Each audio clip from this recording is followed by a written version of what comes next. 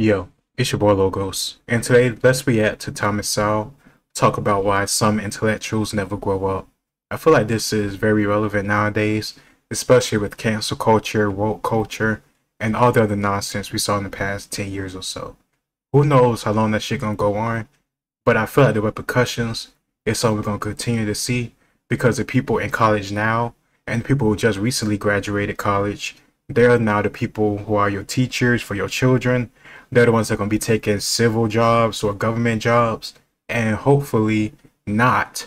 That ideology will probably seep in through that work, but I'm willing to bet that it will because a lot of these intellectuals are low-key socialists or Marxists, and I'm not a fan of Marxism, no matter the way you slice it or how you try to interpret it or twist it to make it seem like your version or your ideology is unique and different from Stalin's, Pol Pot, or any other authoritarian dictators who use communism or Marxism as some type of shadow behind their real beliefs.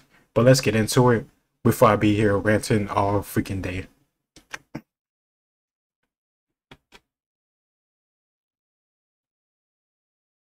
To a small child, the reason he cannot do many things that he would like to do is that his parents won't let him. Many years later, maturity brings an understanding that there are underlying reasons for doing or not doing many things, and that his parents were essentially conduits for those reasons. The truly dangerous period in life is the time when the child has learned the limits of his parents' control and how to circumvent their control but has not yet understood or accepted the underlying reasons for doing and not doing things. I feel like that age is very much around like the teenage years as you get like 13 and older because like he said, your brain is starting to develop more, your body's starting to develop more, and that brings in different scenarios that you're not used to yet. And your parents may talk to you about certain things, but of course, of course, you're young and curious, so you're gonna try stuff out. You're gonna sneak out and do some things and push your limits and that's completely understandable. But it's up to your parents and it's up to authority figures that care about you and the people that are around you that care about you, even if they're not family, to try to help you out, give you mentorship, and rein you in. When I used to be after school counselor, I would talk to the kids about their behavior and the repercussions of their behavior. I wouldn't just tell them not to do something because it's bad. I would tell them not to do it because there is consequences to what you do. And it goes beyond me putting you in timeout or talking to your parent, when you get older or you go in high school, you might get your ass whooped for this and you might get permanently fucked up for this. So control this behavior now when somebody like me cares about you and want to help you out. Don't listen to your stupid friends who want to just laugh at you when you do something stupid. This adolescent period is one that some people, intellectuals especially, never outgrow. The widespread and fervent use of the word liberation in a wide variety of contexts is one of the signs of the adolescent belief that only arbitrary rules and conventions stand in the way of doing whatever we want to do. That is very true. That's probably why you have a rise of anarchists today. Well, people who claim they're anarchists, but they most of the time they've never been hit, never been in a fight before, they never been in a confrontation. They don't know how we have something crazy go down. They usually break down but they're usually the same ones screaming and yelling and getting in people's faces for a disagreement, and it's ridiculous. I feel like our generation, and by our generation I mean like 20 to like 30 something, because I'm 26, our generation been pretty fucked up by this mindset, in my opinion. You see in colleges, shoot, look at this picture right here on screen. Like a lot of this stuff is from the past few years. Excuse me a lot of this stuff from the past few years, and people still doing this stuff. Look, it's mostly white people holding a Black Lives Matter sign. It's funny that I see this picture because I just read a part in the book by Thomas Sowell called Black Rednecks and White Liberals, how white liberals give all this excuses for negative black behavior. And they try to say that these people who do these negative behaviors is part of culture and identity. I don't understand how red out of wedlock children and crime and all this other stuff is part of our black identity. It's not. That's not something we should embrace. It's not originated to us to begin with. But I'll do the whole book in quotes in a separate video. According to this vision of the world, the problems of all sorts of individuals and groups, women, minorities, homosexuals, children, are to be solved by liberating them from the restraints of laws, rules, conventions, and standards. They are to be liberated even from the threat of adverse judgments by other individuals. We are all to be Single non moms. judgmental. Single fatherhood. Two centuries ago, the Like great multi- British like multiple baby mamas, multiple baby daddies, that type of stuff they try to normalize in the black community nowadays. Talking about you can't talk about um single mothers, like it's just nonsense in my opinion. legal scholar William Blackstone pointed out that there are some laws so old that no one remembers why they existed or what purpose they served then or now. But the bad consequences of repealing some of these laws have often made painfully clear what purpose they served. Some of the painful consequences of various liberations that began in the 1960s have included the disintegration of families, skyrocketing crime rates, falling Mhm. test scores in school, and record breaking rates of teenage suicide.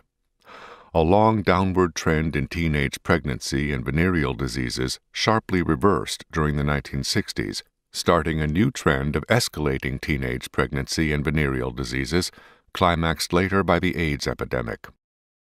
Sometimes bad things happen because of adverse circumstances, poverty or war, for example. But our post 1960s social disasters occurred during a long period of peace and unprecedented prosperity. Mm-hmm. Murder rates, for example, were much lower during the Great Depression of the 1930s and during World War II than they became after various liberating changes in the 1960s. One of the signs of maturity is the ability to learn from experience. Some of us have learned, and we have halted or reversed some of the adverse trends. For example, the quest for those elusive root causes of crime, so dear to the political left, has been put aside in favor of locking up more criminals, and the crime rate has declined. The left is upset that we have so many people behind bars and lament how much it is costing to keep them there. They do not even bother to estimate how much it would cost to turn them loose. I was just about to say that, like, there is a good argument about how much it costs to have all these people in prison, but what would the effects be if these people are let free? You know, when COVID happened and they let prisoners out of like jail and prison because they had COVID, or I think they said the um size limits were getting too much with COVID involved. That shit was crazy. I don't understand why you would just release criminals just because of COVID.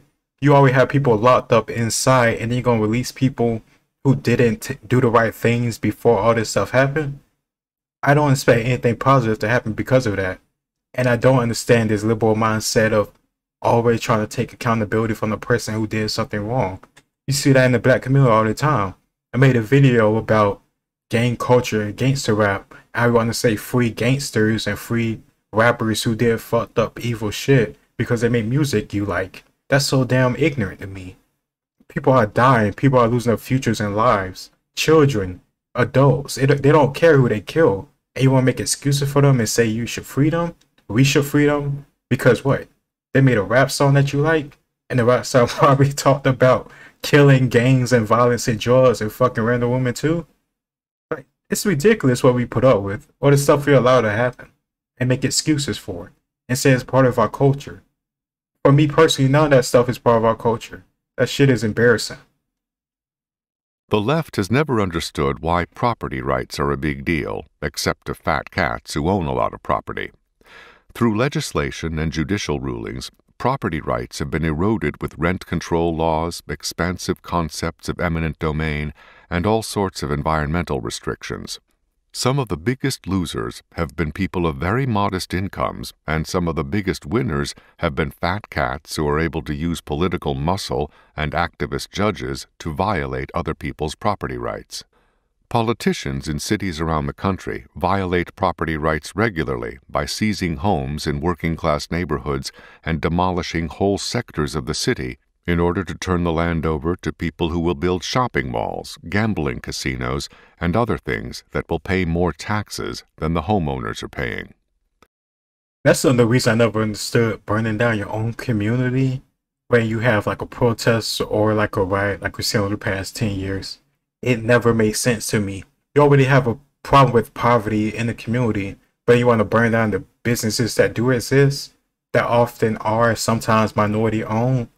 Come on now, that, that makes no sense. What do you expect to happen? People still have to go back and live there after you get done burning the shit down and your emotions calm down. It's ridiculous. That's why property rights were put in the Constitution in the first place, to keep politicians from doing things like that. But the adolescent intellectuals of our time have promoted the notion that property rights are just arbitrary rules to protect the rich. Definitely sound like some communist type thinking, if you ask me. Many academics and federal judges are sufficiently insulated from reality by tenure that they never have to grow up. And that's a damn shame. That's why people who care about this type of content, like me and the people who watch this stuff with me, or even on other platforms or through other people, that's why we need to make this knowledge more known because people don't care. But people will care once it start affecting their actual lives. And that's the issue. By the time it starts affecting your actual life, it'll take even more time to fix it or remedy it or take away that law that caused it to happen in the first place. Shoot, look at welfare. All we did a couple videos about welfare and the effect of that in the black community, and we still haven't changed from that.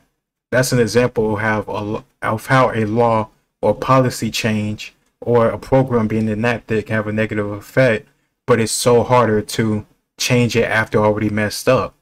It's already in place. Now you have to have people admit that they messed up for something to change in the first place.